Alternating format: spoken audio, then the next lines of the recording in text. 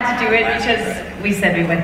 So we just did this quick little thing, but, but the, the shower curtain was somewhat see-through. You know, it was one of those like kaleidoscope looking, it's clear, but it's got those circles on it so you can see, but you can't see. And so we both had to be in nude, we both had to be in nude underwear. So it looked like we were showering.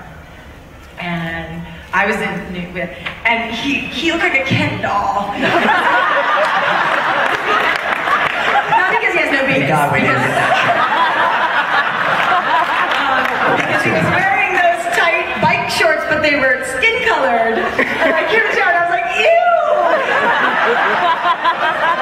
and then, and then, and then, so we didn't know what it was, how it was going to happen, and they turned the water on, it's warm, it's fine, we're like, okay, good, it's warm, and we did the shower scene, and then, and then when it got wet, our nude stuff was totally see-through! Dying. It was totally see-through. I was like, oh, Shane. I was behind you. behind you. Your, your job's out. Okay. So I'll just send you a mental picture from my head of that day and you'll be fine.